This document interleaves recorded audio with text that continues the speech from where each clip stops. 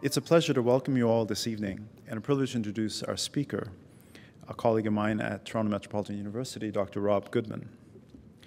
On January the 6th, 2021, a popular insurrection sought to overturn the election of Joe Biden as the 46th President of the United States. Thousands of his supporters descended on Washington, D.C. to prevent a joint session of Congress from counting the Electoral College votes to formalize Biden's victory, even though he won a strong popular majority across the country. Pandemonium, pandemonium broke out in the capital as rioters targeted senior politicians who had defied Trump's claim that the election was stolen.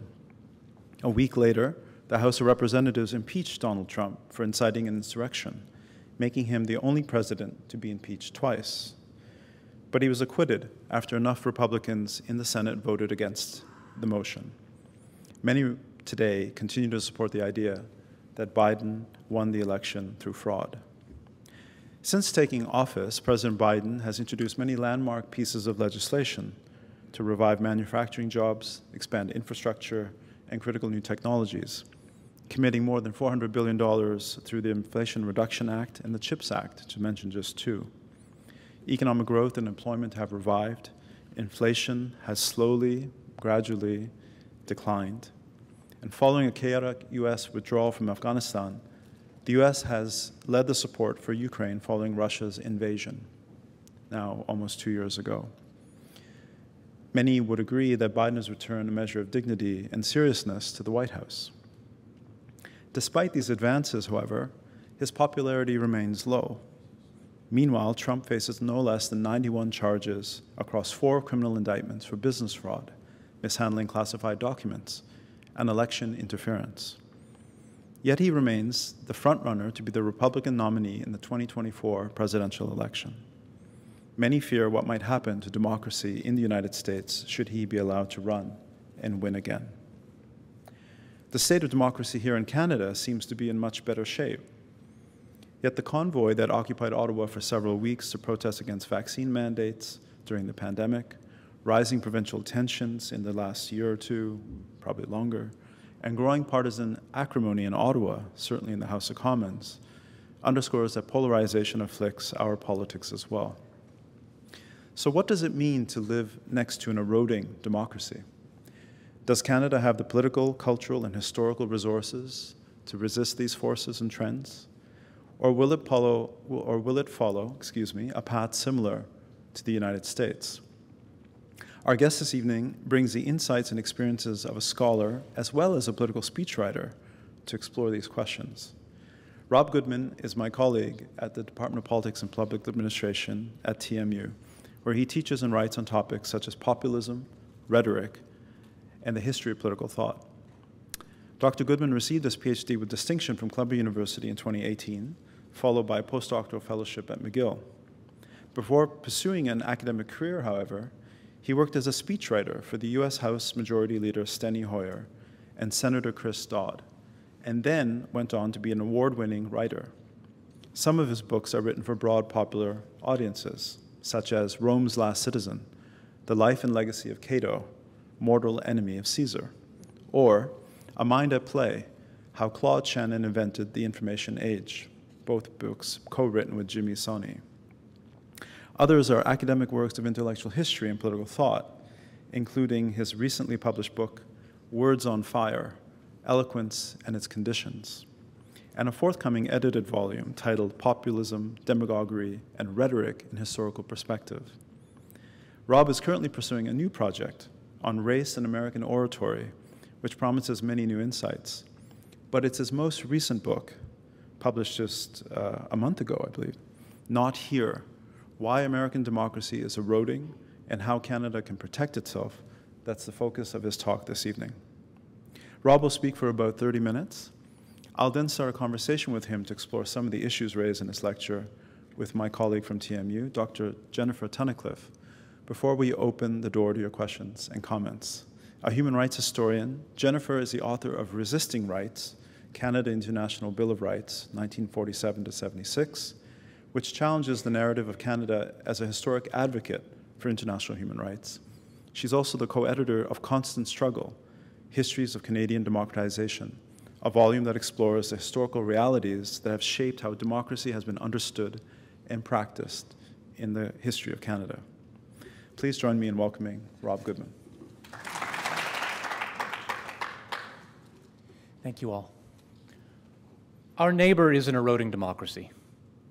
Canadian politics needs to start from that reality because it is the political fact with the furthest reaching consequences for Canadian life. Canada is not exempt from the polarization, the authoritarianism, and the conspiracizing that have put the future of American democracy into doubt. But Canada is different. If those forces are not so advanced here, it's not because Canada is congenitally behind the times. It's because our democracy can draw on a set of resources that are distinctly of this place. Our difference is not a luxury good, something for a rich and mostly contented people to worry about in the absence of more pressing concerns. On the contrary, it is a democratic immune system. This is the subject of my book, Not Here, um, and in lieu of talking about the entire argument of the book, I thought I'd read in particular from one of the chapters in which I talk about this democratic immune system called Solidarity. As I write this, and, and note this was a, roughly a year ago, so I'm sure the number is going to be higher now, 277 bills have been introduced in American state legislatures to ban or restrict the teaching of divisive concepts, such as critical race theory, or the concept of systemic racism. These bills and the well funded, well coordinated national campaign behind them offered a masterclass in the art of changing the subject. The summer of 2020 was the summer of the George Floyd, George Floyd protests, the largest demonstrations against racial injustice and police brutality, or in any other cause in American history. The summer of 2021 was the summer of the CRT panic, a period in which the focus of American anger was skillfully transferred from the figure of a police officer with his neck on George, knee on George Floyd's neck and the systems of impunity that brought knee and neck into fatal contact, to the figure of a public school teacher instructing, quote, our kids to hate America and hate each other, in the words of a Republican press release. That is from a real figure to an imagined one. The backlash was announced and carried through so openly that it was almost a relief from the smog of plausible deniability in which most political malefactors go about their work. As the protests and civil unrest following Floyd's murder entered their second month, a group of Republican senators, the ones who just entered, uh, issued the press release I just quoted, introduced a ban on the use of federal funds for the teaching of the 1619 Project, which stresses the central role of slavery in American history, a step that set the tone and messaging for much of the backlash that followed. The bill, as the usual format dictates, included a number of preambulatory statements or findings. Here are the last two. Number five, the 1619 Project is a racially divisive and revisionist account of history that threatens the integrity of the Union by denying the true principles on which it was founded. And number six, the federal government has a strong interest in promoting an accurate account of the nation's history through public schools and forming young people into knowledgeable and patriotic citizens. What those statements tell me is that the enemies of the sort of public history the 1619 Project represents really do understand something about its political stakes. It really did threaten the integrity of the Union. It really did make social cohesion and solidarity harder to imagine. Myths are coordination points. They do not have to be good or just or fair or right to coordinate us. So we might imagine the bill's authors as engaging in a kind of bloodless realpolitik, not in any direct reckoning with history their history may or may not be true, but that is not their most pressing concern. The federal government has a strong interest in legislating its truthfulness. That, at least, is what we might imagine if we gave them the benefit of the doubt. And yet, if we do so, if we assume that there is some genuine public spirit in these Republicans' feelings for social cohesion, then we are led to ask why is received history so important to America's social cohesion in the first place? Why is divisive and revisionist history such a threat? We could answer that question with another question. Besides received history, what else is there to keep the peace? When public schools are effectively segregated, when public spaces are shadowed by random gun violence, when union membership, despite some recent high profile success stories, remains in a generations long decline, when wealth and income inequality surpass that of the Gilded Age, when the undemocratic Constitution puts meaningful political power out of reach, when the concrete and tactile bases of solidarity have been so methodically eroded, the only basis of solidarity left is story. Received history bears all of that tremendous weight. Under these conditions, it is the only thing that possibly can. The United States is hardly the only country in which these conditions prevail, but the great weight placed on received history in American politics is an index of the failure of other, material kinds of social cohesion in American life. That cohesion was not destroyed by insurrectionists or raving demagogues. It was destroyed by generations of normal politics. Of course, many of the same politicians who have done so much to erode material solidarity in America, who've undermined the public schools, who fought union organizing and universal health care with tooth and nail, are the ones most intent on enforcing the solidarity of received history by codifying it into law. So perhaps they're trying to undo the damage, to shore up the broken foundation with the only tools their way of thinking permits them to handle.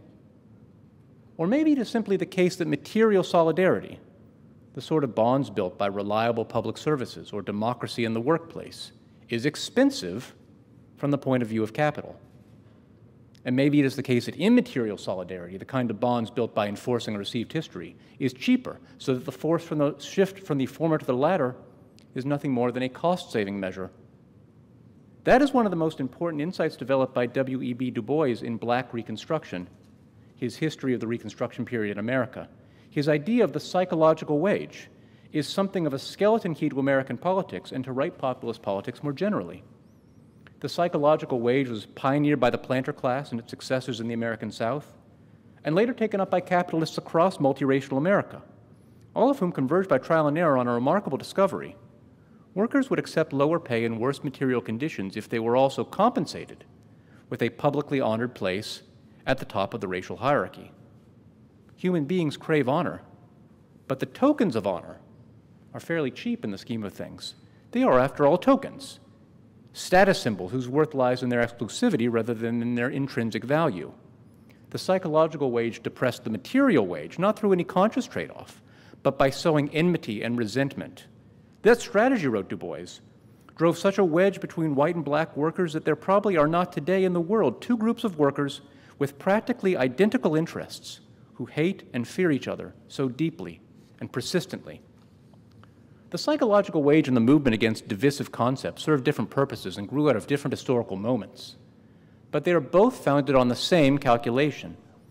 Social peace can be secured by material means or immaterial means, with wages and social services, or stories and tokens. And the immaterial means usually cost less. It's just for this reason that Canada's marked lack of the usual unifiers, like a singular national identity, or a tradition of charismatic leadership or a revolutionary founding is so important on a concrete material level. On the one hand, disunity is, and always will be, I think, the Canadian problem.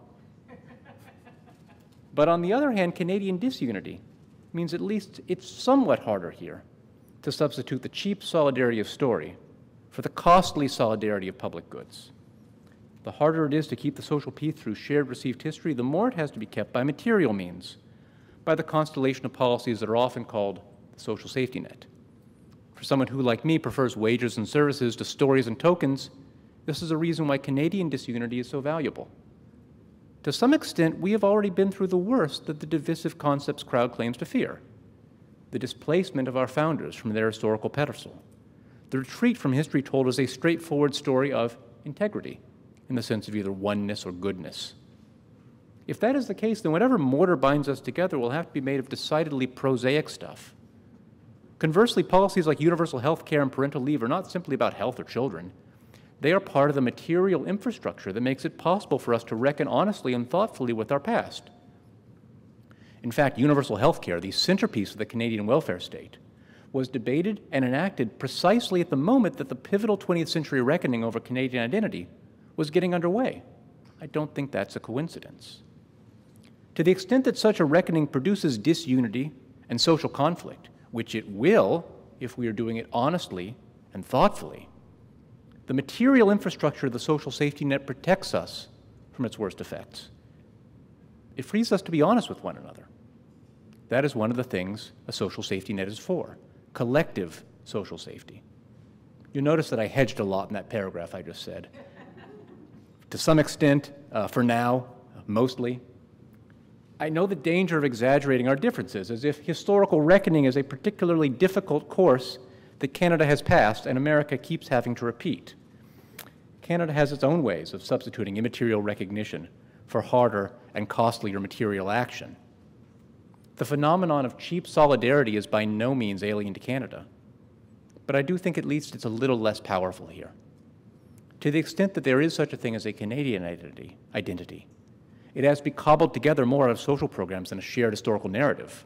The healthcare system, for instance, recurs in surveys and polls as a defining mark of Canadian identity, not because it's so outstanding, but just for lack of alternatives. It bears some of the weight that the founding bears in American politics. But it's not only that these different kinds of solidarity ask different things of us, we experience them in essentially different ways. Compare the anonymous, oceanic feeling of standing for the national anthem in a sports arena with the ability to look your neighbor in the eye as a social equal, someone who can legitimately claim the same social goods as you can, and the same social respect that goes with them. I've experienced both, and I prefer the latter. Mainly, I think, because it enables me to hold my head up as an individual, because I instinctively resist the kind of dissolution in a crowd that the mistier kinds of patriotism seem to require. The solidarity I prefer is small, dense, solid. Solidarity can exist perfectly well without sweeping narratives of national greatness or goodness. It lives in ordinary places union meetings, doctor's offices, public schools. It works not only because those spaces, when they're working well, provide some goods essential to dignified, comfortable lives, but because they provide them in full public view. What is essential is not just that public goods are provided equally, but that they enable us to see other people as equal and to be seen as equals ourselves. A truce to status jockeying, the mutual recognition of peers. But do we really live like that in Canada? I have trouble claiming that we really do, at least in the sense that I would like. Not when union membership has been in decline for most of my life, not when in August 2022 in Ontario an average of 884 people were waiting for an inpatient hospital bed each day. Not when 43,000 people left Nova Scotia emergency rooms in 2021 before being treated, presumably due to interminable wait times. Not when our overcrowded ERs are, quote, full of violence, tension, and anger, in the words of one longtime doctor. Not when our gap between house prices and incomes is by far the worst in the G7 not when Toronto and Vancouver regularly top the lists of least affordable cities in the world. The housing crisis in particular puts the lie to our claims to have built a more equitable society. How much is the cost of housing taken from us collectively? How many deadening jobs and hours long commutes just to afford the rent? How many educations cut off prematurely? How many children never born? Into the sinkhole of housing costs have gone books that were never written, instruments that were never learned, hobbies that were never taken up, start that startups that never made it off the page, dissent that was swallowed in the throat. All of these kinds of human flourishing, and many more, need time more than anything else. And so, in a housing market with a ravenous appetite for our time, the hours of labor we are obligated to sell to keep a roof over our heads, all of these kinds of human flourishing become privileges for the few rather than entitlements for us all. Historically, it is at moments like this, moments at which it feels increasingly difficult to see ourselves and our neighbors as people sharing the same fate, that have been moments of the highest opportunity for the far right. I often think of a 1994 essay by the American writer Edward Luttwak that went viral again in the early Trump years. It is only mildly amusing, wrote Luttwak, that nowadays the standard Republican slash Tory after dinner speech is a two part affair, in which part one celebrates the virtues of unimpeded competition and dynamic structural change, while part two mourns the decline of the family and community values that were eroded precisely by the forces commended in part one. Luttwak expected the tension to break. And when it did, he expected it to break in the direction of traditional values, backstopped by an aggressive interventionist, corporatist state. The title of the essay was Why Fascism is the Wave of the Future. In my grandparents' generation, right wing governments from Mussolini onward regularly co opted the language of economic planning and socialism. The problem with capitalism was not that it enabled class domination, but that it undermined the traditions and integrity of the nation. In my own generation, it is once again increasingly common for so called national conservatives to array themselves against big tech and woke capital. Their anti market posture has not resulted in any concrete policy change, at least not yet. They're still happy to give woke capital a tax cut. But at the very least, the contradictions of these standard Republican slash Tory after dinner speech are beginning to grow unbearable. When Stephen Harper and Erin O'Toole describe politics as a clash between rooted somewheres and the rootless anywheres, when Republican Senator Josh Hawley claims that the reigning political consensus shows little interest in our shared way of life, when Tucker Carlson celebrates Viktor Orban's Hungary as the rare country in which hard state power has been put in the service of traditional values and anti immigration, they are all channeling a very old insight.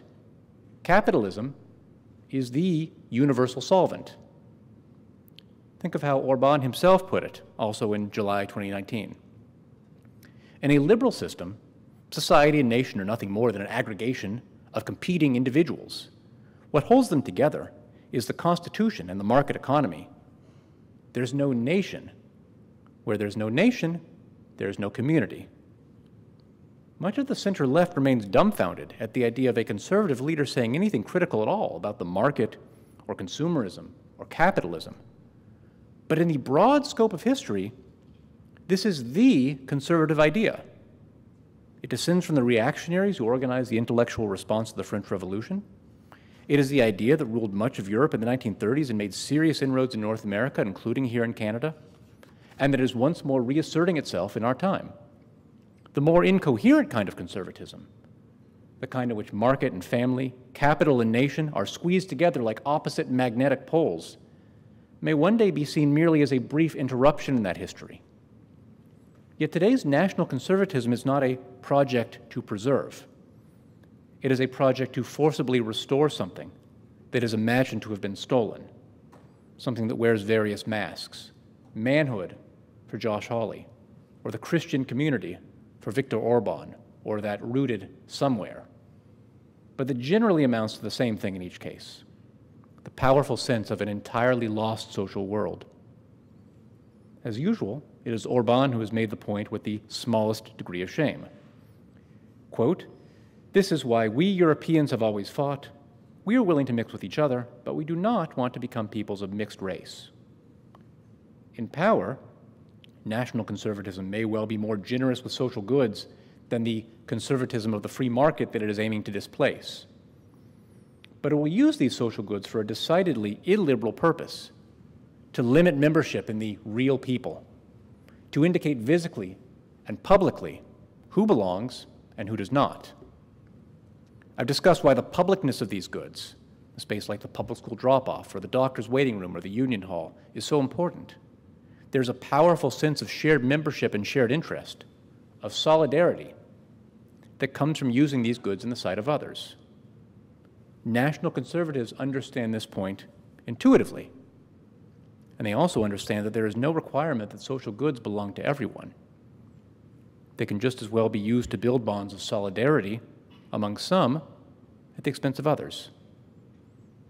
They can just as well be used as tools to rebuild that nebulous lost thing.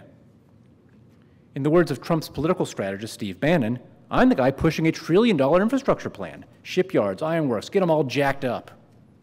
In pursuing that program, national conservatives can draw on models from the European far right, like Marine Le Pen, who cast immigration as the essential threat to the welfare state. And they can draw on models much closer to home. The heavy subsidies that made possible the interstate connected, racially exclusive suburbs of post war America. The deliberate exclusion of most black workers from FDR's initial version of Social Security. The well funded white schools of the segregated South. The state organized colonization of Western Canada Trump's failure to follow these models was the single most providential failure of his presidency. As frightened as I am of the angry, failed, coup fomenting version of Trump, I would have been far more frightened of the version of Trump who used state power and public spending to build a durable popularity and a lasting political realignment. Shipyards and the Muslim ban, ironworks and the wall, Trump as the American Francois Legault. We might attribute that missed opportunity to Trump's laziness, but we could just as well attribute it to some of the structural forces in American politics. So far, national conservatives have the power to introduce borrowed terms like working class, multinational corporations, and capital into the Republican vernacular. They do not have the power to govern outside the party orthodoxy, at least not yet. But in Canada, I think the equivalent orthodoxy is far weaker. It's not simply that our more tightly regulated elections place at least some limits on the political power of capital. It's that Canada's political culture and nationalism have been bound up with the interventionist state since Confederation.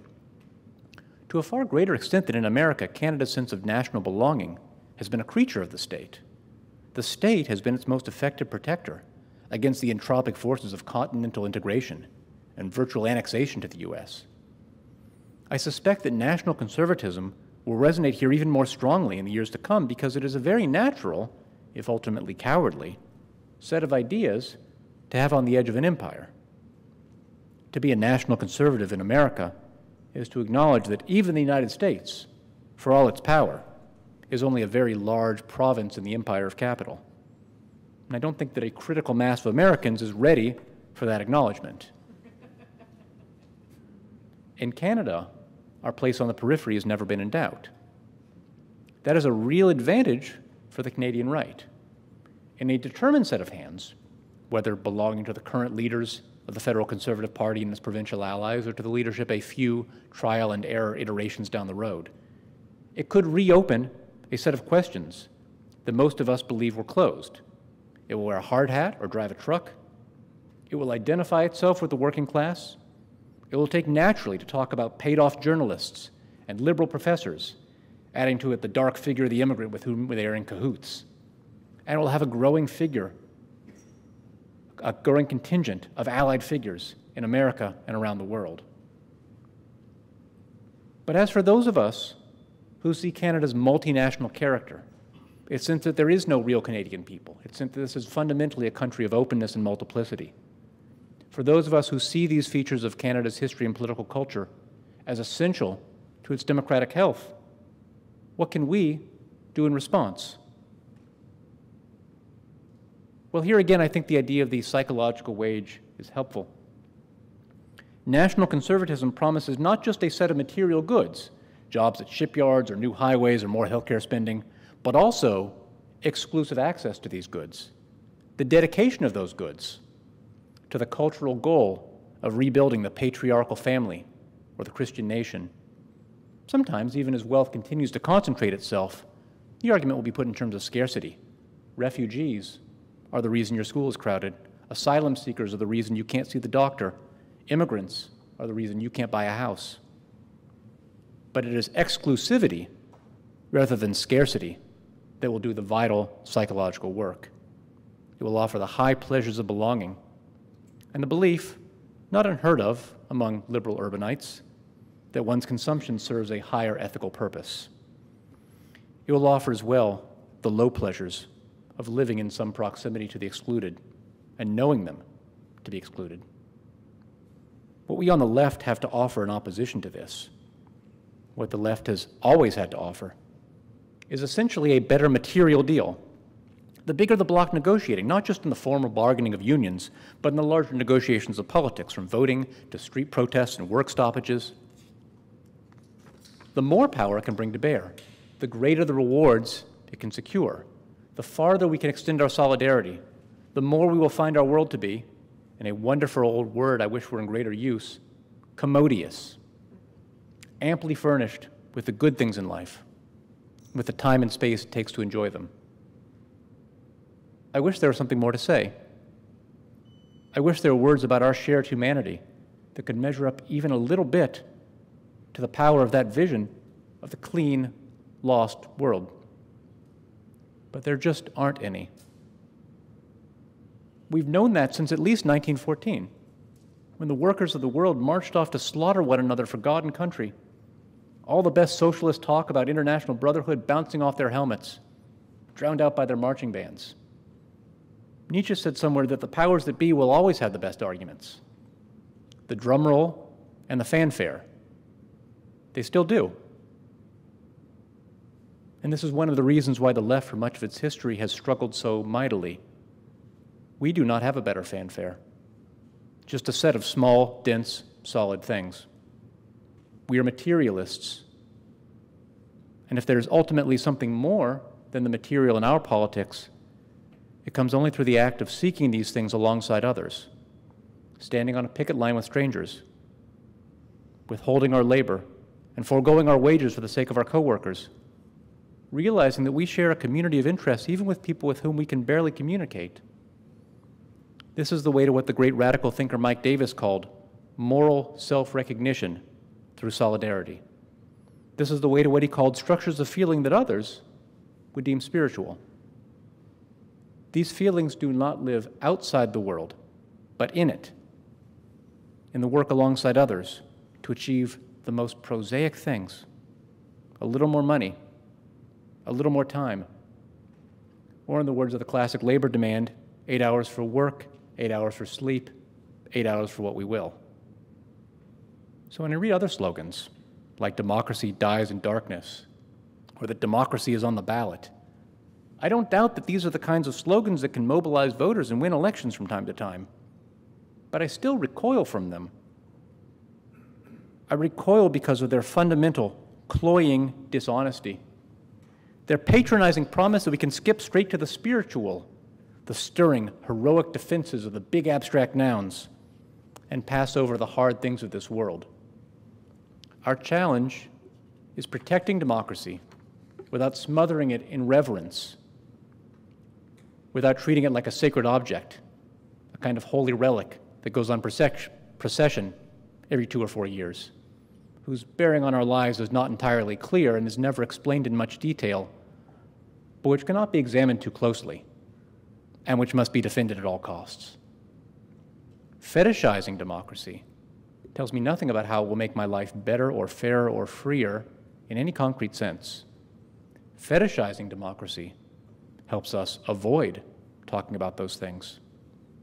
It is an easy step, deceptively easy, from the idea that democracy is on the ballot to the idea that democracy is only on the ballot, that the unfreedom of the workplace is not really unfreedom, that the dictatorship of the boss is not really dictatorship, that the principle of living together as free and equal people does not apply as long as we're on the clock. But those who fought to bring democracy into being, who knew its absence, who saw what that absence meant in the hard lives of the people on whose behalf they spoke, were entirely willing to speak of it in the least sentimental terms. They understood that democracy was not an idol, not an icon, but a power, a political power raised up to contend with economic power. They spoke of it in the unabashed terms of need and want, the language of this world, because they cared for democracy, because they feared for it, they could not afford to worship it, nor can we. Thank you. So thank you very much for that. Um, so I guess I'll start just with a question, and that is, it seems like a central argument of your book is that asserting difference um, between Canada and the United States can act as a buffer to eroding democracy in Canada. So the question that I have for you is, how do we balance this? How do we balance this idea of asserting difference um, with the concept of per, you know, perpetuating a sense of Canadian exceptionalism that maybe sometimes obscures uh, the similarities mm-hmm. and the real problems that exist uh, within Canada, you know, Canada's history, its mm-hmm. past, and its present. Yeah. Uh, this is like absolutely a challenge I struggle with in writing the book, and I don't think I have the final answer to it. I, I guess the first thing I'd say is that one, I think I do err on the side of asserting difference because I think there's so much pressure in the other direction. I think about how much news coverage in Canada is dominated by American news. I think of how the front page of the CBC or, or the Globe is quite often what Joe Biden or, or uh, Kevin McCarthy or whoever the new guy is up to, uh, Mike Johnson, I think, um, uh, or, or Donald Trump. So I, th- I think that the baseline for me is a sense of, of overwhelming cultural and media saturation. So I think that asserting differences, and part of the reason I think I asserted a lot in this book, is because I think you're, you're starting from a disadvantage, the disadvantage of being saturated with American news and politics. But I, I do think that you're very right to point out the difficulty of overcorrecting, or the problems of overcorrecting, into a sense of Canadian exceptionalism, into a sense of Canadian smugness, into a sense that all the really bad, ugly, evil things of history, like New Settler colonialism and, and racism and, and dispossession of land, and, and the things that make Canada's history so ugly are things that we have to worry about as U.S. contagions, but not things that are inherent to Canadian politics. And I, I, don't think that's true. I guess what I try to argue in the book is that if there's any kind of sense of Canadian exceptionalism, I, I think exceptionalism is, is a rough, uh, it, it's such a fraught term, so I don't really use it in the book. But if there's any kind of sense of difference, it has to be rooted in the parts of Canadian political culture and history that push against uh, those tendencies. Something that I referenced here, the idea of, of Canada is fundamentally a, a, country that has a political culture that sees itself as, as multinational, as a country of multiplicities, multiple foundings, multiple histories and stories, multiple national myths. If there's a kind of meta myth of Canadian culture, is that there is not one kind of authoritative story. I think it, it's very easy to think about getting separation and difference from American democratic erosion and gloss over the uglier parts of Canadian history. And I don't want to be part of that at all. But I, what I do want to be part of is saying that at the very least, there's something there to build on in terms of a, a model of what a multinational democracy can look like, in which the kinds of erosion that we've seen in the US, I think, are specifically tied to the notion that there's a specific American people, a real American people that is entitled to rule. I think that's a little less plausible here. It doesn't mean it couldn't happen. I, have just, I, I talk quite a bit, I think, about why it might, but I think the resources to protect against it have to be connected to a, a, sense of Canadianness or a sense of groundedness in a history because it has to be some kind of relevant response to how these problems present themselves differently in Canadian political culture versus in US political culture. I, I had a similar opening question. I, maybe I'll take it from a different, push it in a different way.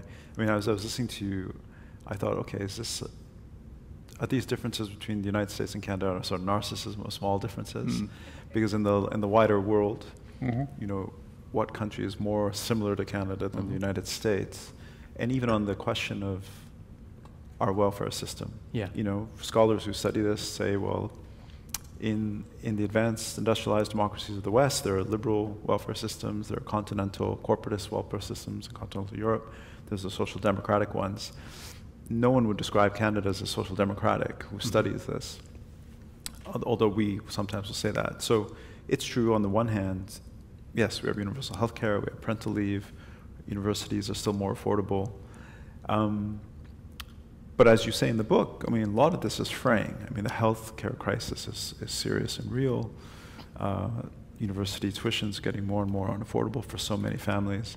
So I guess, you know, I think one question was about that, but the other one I wanted to ask was, and maybe this one, because this is just sort of riffing on what Jennifer had said, is there's something ironic or paradoxical about what you said. Because on the one hand, you said, well, if solidarity means anything, it's got to mean something concrete these small, dense things.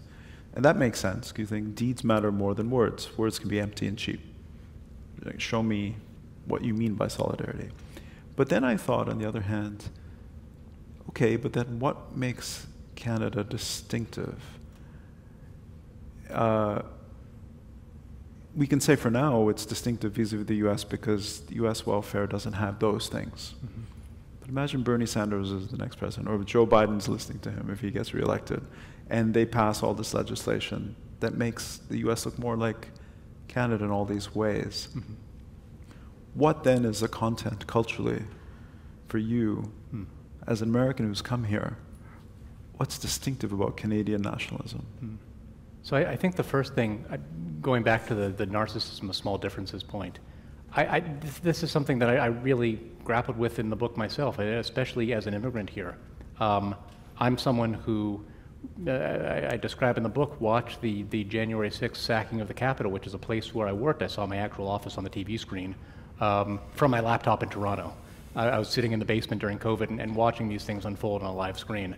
So when I think about the hope that I have that things won't be quite so bad here, sometimes I'm in an optimistic mood and feel like that, and other times I think this is all narcissism of small differences. This is all just sort of tinkering on the, on the margins of the liberal welfare state. And at the end of the day, countries that have so much in common are ultimately and are so deeply economically and politically and culturally entangled are going to go down the same road sooner or later. So part of the reason I think the narcissism of small differences is almost a good frame for this problem is if it's the case that, that Canadian democracy is not quite so eroded as its American democracy. And I guess that's like uncontroversial in some ways. I think it could be, but I don't think we've gone down that road yet. Part of what I want to do is focus on these small differences, saying, is there anything there that explains the difference? Oops, sorry. Is there anything there that explains those differences?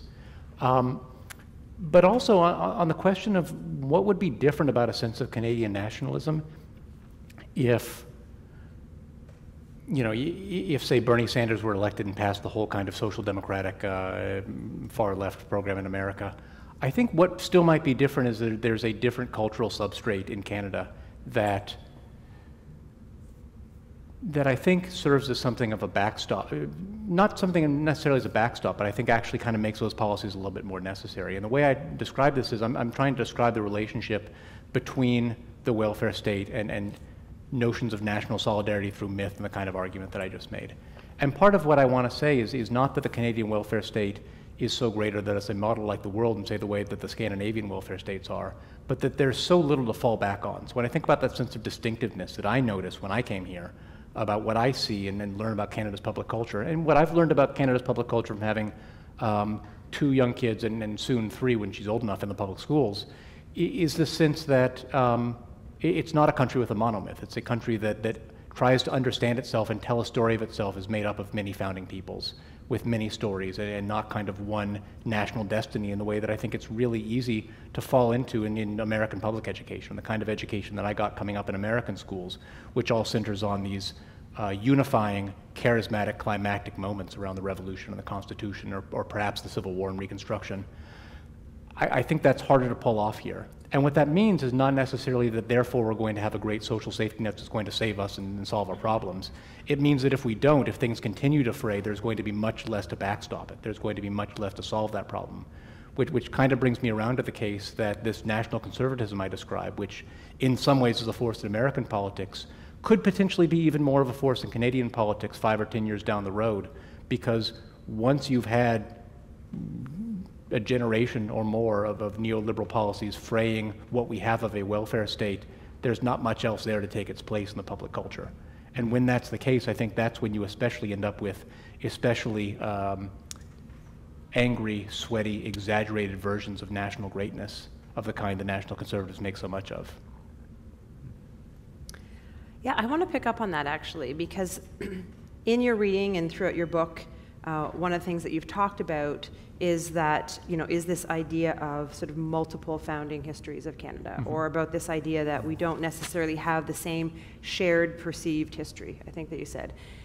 And I guess I want to know how deep you think that goes, because, um, like, I think there's different forms of national narratives. And, for example, the myth of multiculturalism in itself can be a national narrative, or, you know, and so I'm wondering whether or not you think how deeply you think it goes that we no longer have this kind of national narrative that shapes kind of the history of Canada. Because I think there's a lot of people that, you know, in, in 2020 and 2021 would argue that if you look at our education system, if you, you know, if you look at our national narratives, that there, that there remains this really sort of strong sense of, of a Canadian history from which many groups still kind of feel excluded. Mm -hmm. So I guess my question is how, how deep, because you've also talked about like the, you know, the, the fact that we've, we've struggled with the ideas of like our founding fathers, whatever, and we, you know, but are we past that? Like how, how deep have we really engaged with that? Yeah. Well, I think we can always engage with it more deeply. And I think part of the problem that I'm describing is I, I think just in the way that I describe these sort of cheap gestures of solidarity that I think are such a, a, a prominent part of, of, of the American kind of myth of the founding, it, Canada does that too. I, I, don't want to single out land acknowledgements because we, we do that here, but I do this in my class. I have a land acknowledgement in my class, so I certainly don't want to act like I'm above this, but I see this as a form of, of me, especially as, as a white guy, performing a kind of act of solidarity that in some ways is, I, I think it's better than the alternative. I, I think it's, it's I, I think about the students in that class that wouldn't even have thought about the indigenous history of the place where they're living. Um, if, if, not for that, it's something that I never had, was pushed to think about by anyone through four years of undergraduate education in the States. And yet, it's, it's, it's words, and yet it's not solid and concrete.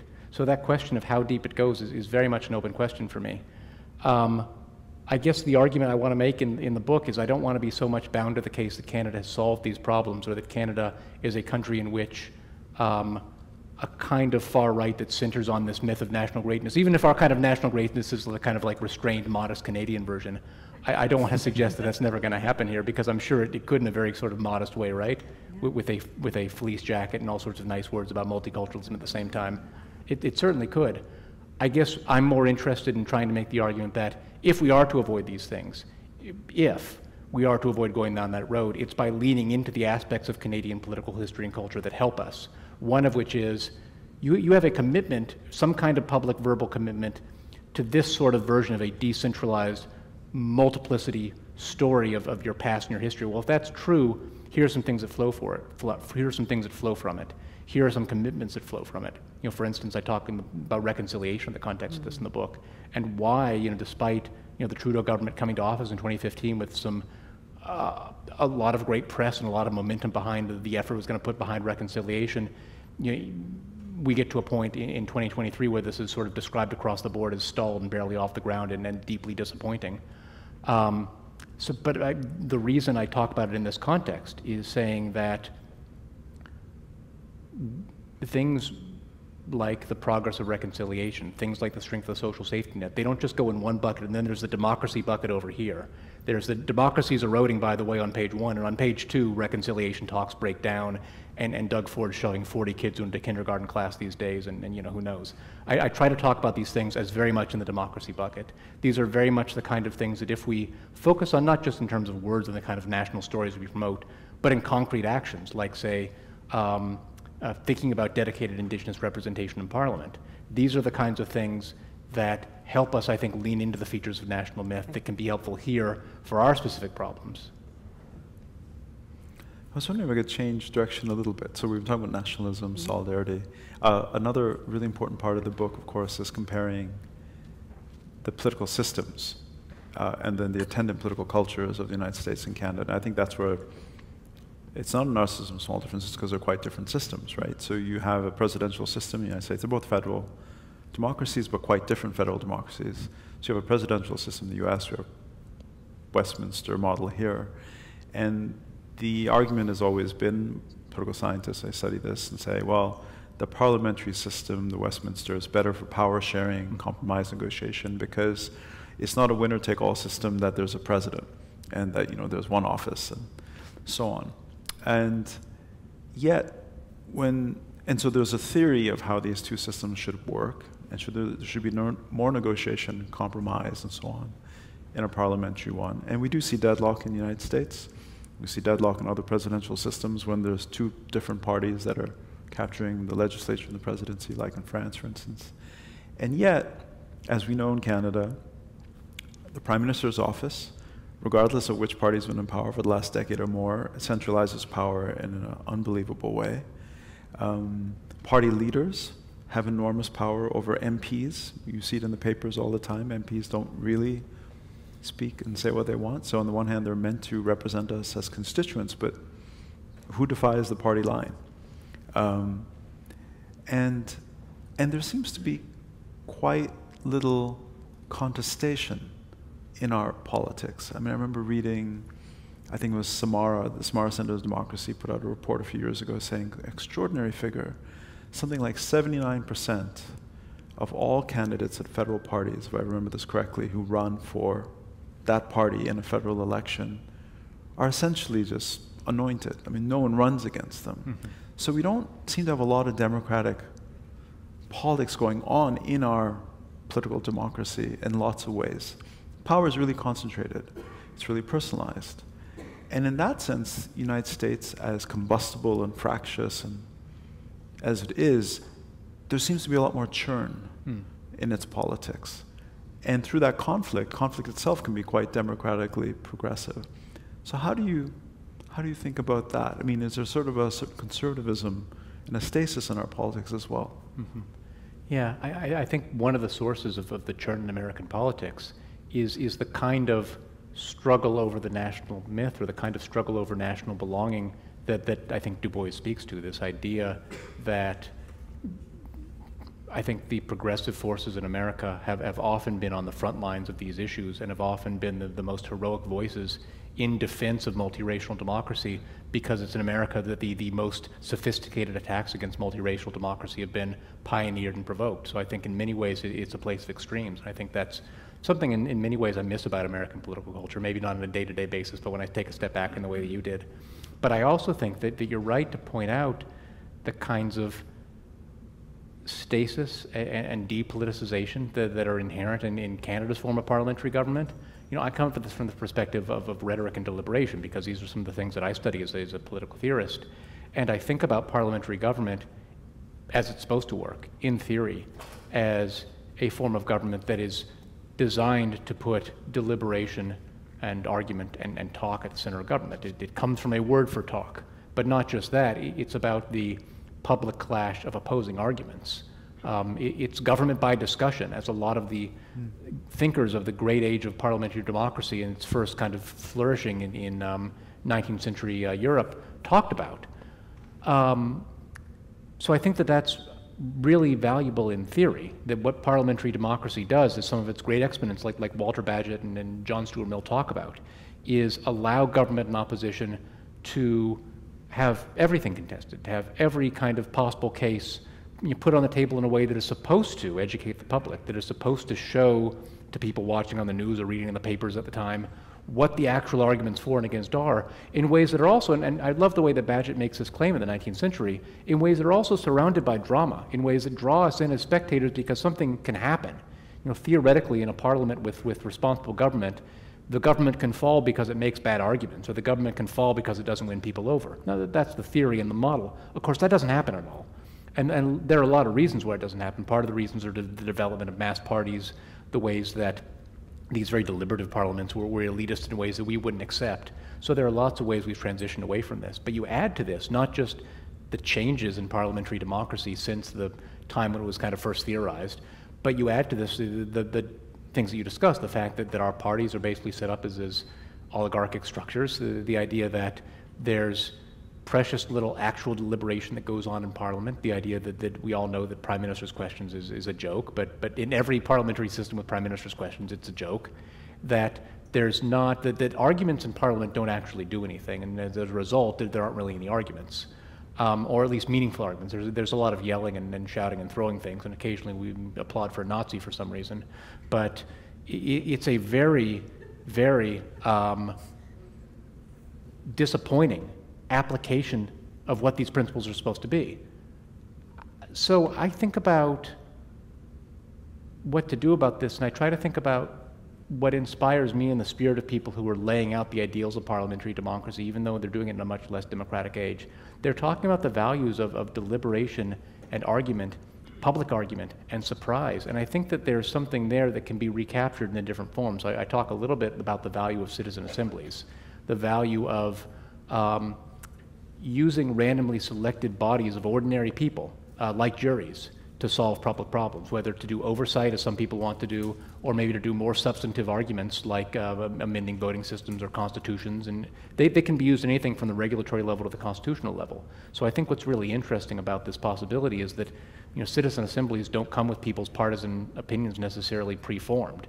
They, they're opportunities for people to actually deliberate and convince one another and change their minds because they're encountering issues as ordinary people um, for the relatively first time.